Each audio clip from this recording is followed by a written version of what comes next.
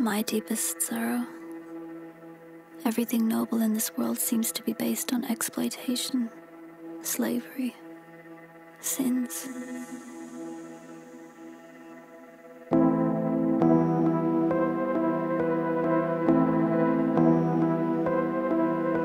It used to be hopeful, it used to be thrilled, it used to be prouder of us and work on the life that we built. I thought we could make it, that there's freedom within. But now that I'm older and sadder and weaker, I'm starting to think this is the way